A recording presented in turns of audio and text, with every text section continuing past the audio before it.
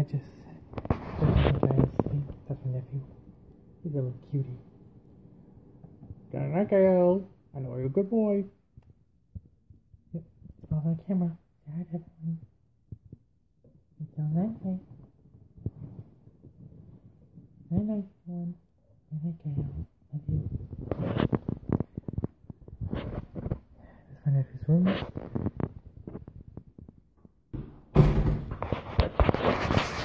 Really is a good boy, isn't he? I love him so much. Pride and joy. And he had a few rough times that I'm not going to get into, considering those are private matters. Anyway. Yes. I love that little guy so much. And hopefully one day he could be have his own internet show like me. well, here's hoping. And that's all for today. See y'all next time.